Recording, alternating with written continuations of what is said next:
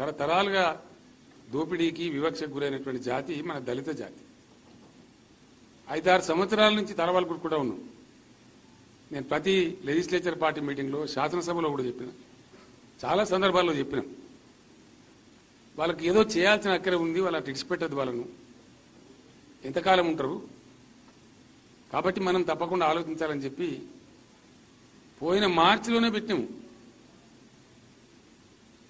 వెయ్యి కోట్ల బడ్జెట్ కూడా కేటాయించినాం. ఈ లోకమందరికి తెలుసు. ఈసారి దాన్ని ఇప్పుడు కరోనా వచ్చి ఆగిపోయింది. వాస్తవానికి దళిత బంధు ప్రోగ్రాం ఏదైతే ఉందో ఒక ఏడాది ఏడాది బాబు ముందే మొదలు కావాలి నా లెక్క ప్రకారం.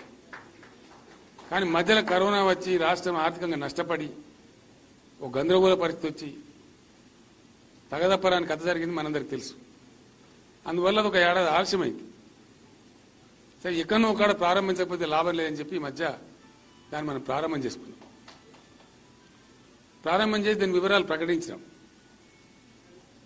నిజంగా వాళ్ళు అద్భుతంగా పైకి రావాలంటే ఏం చేయాలా? ఎట్లా చేయాలి? వాళ్ళకి ఆస్తులు లేవు తల్లిదండ్రులు సంపాదించిన ప్రాపర్టీస్ లేవు. విద్య కూడా ఈ మధ్య కొంచెం మంచిగా అంత అంతకుముందు అవకాశాలు లేవు. ఒకవైపు వివక్ష పేదరికం. రెక్కలు మాత్రమే కాళ్ళు చేతులు మాత్రమే ఆస్తిగా ఉన్న లక్షలాది దళిత కుటుంబాలని. మరి వాళ్ళు పైకి రావాలంటే ఏం జరగాలి? ఏదో ఒక అద్భుతం జరగాలి. ప్రభుత్వం తనకు తానుగా ఆలోచించి ఎక్కడ ఏం చేయాల్సిన అక్కరుందో అక్కడ అది చేసుకుంటూ మనం ముందుకు పోతుంది సామాజిక అవసరాలను గుర్తించి చేసుకుంటూ పోతున్నాం. అందులో భాగంగానే అనేక సంవత్సరాలను తలపెడుతున్నటువంటి దళిత బంధు అనే కార్యక్రమానికి ఒక స్వరూపం ఇచ్చి దాన్ని ఇంప్లిమెంట్ చేయండి అని చెప్పినాం. దానికి ఓడు కీ అంటే ఓడు కా అంటే పాంబు వాడేట అదిరిపడుతున్నారు ఎందుకంత భయం నాకు అర్థం కాదు. దళిత బంధు పథకం వాడు ఆపుతాడా? ఎట్లా ఆపుతారు? ఆరు నూరైనా కానీ ఒకసారి కేసీఆర్ చెప్పిండంటే అది ఆగదు. వంద పర్సెంట్ వంద పర్సెంట్ అమలు చేసి తీరుతాం. దానికి దశల వారీగా ఎట్టెట్లా చేయాలనో?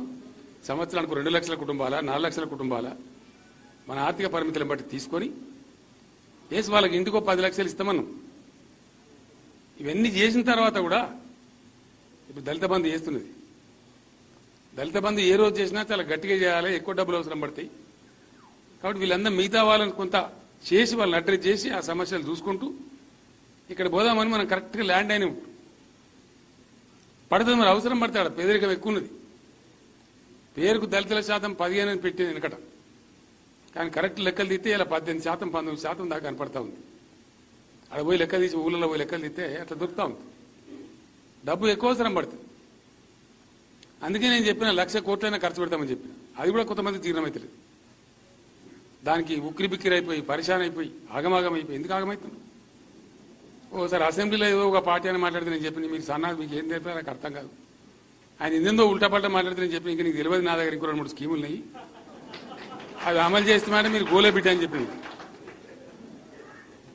ప్రజాస్వామ్యంలో ప్రజలను ఖచ్చితంగా వాళ్ళ ప్రేమ పొంది వాళ్ళకి సేవ చేసి ప్రజలను మెప్పించి వాళ్ళ ద్వారా అధికారాన్ని సాధించి దాన్ని సద్వినియోగం చేయాలి.